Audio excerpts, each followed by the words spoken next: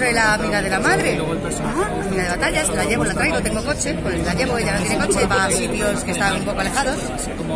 Y en fin, pues yo la llevo y somos amigas. No, cariño, porque esto, este rollo erótico festivo que tiene todo el mundo, que aquí todo el mundo folla alegremente, pues yo no. Yo, eh, para mí ha sido una road movie, éramos más Telma y Luis. Para mí no ha sido 50 sombras, no, ha sido Telma y Luis. Uy, es que no- yo creo que no se ha hecho nunca nada así, no sé. Espero que la gente enganche, ¿no? Pero a ver, arriesgada en el sentido de que nosotros no hemos hecho nunca nada así en España.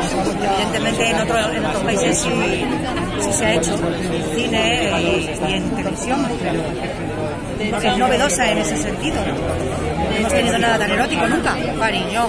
En este país la gente ha visto ya de todo. Vamos, si ahora nos vamos a asustar por esto.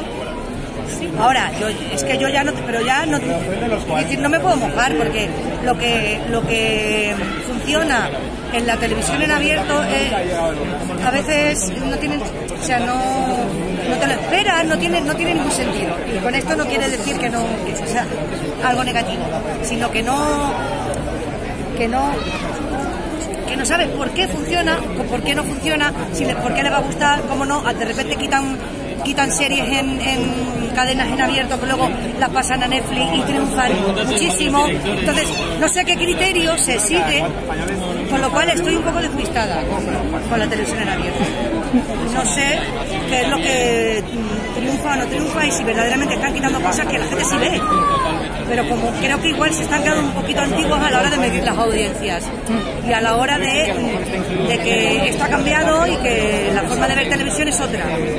Entonces, pues, igual la pones en, en- en abierto y consideran que no funcionan y la quitan.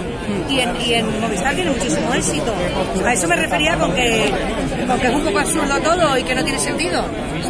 La sociedad española está preparada para todo, cariño. No, no subestimes a la sociedad española. También preguntaban eso con el matrimonio homosexual y no ha pasado nada, ¿eh? La sociedad española está preparada para mucho más de lo que tú te piensas. Somos muy modernas. Otra cosa es que nos dejen o nos quieran cortar las alas, pero modernas somos mucho. O vamos, por instinto. Sí. ¿Qué vamos a hacer? Es lo que hay. A ti. Gracias.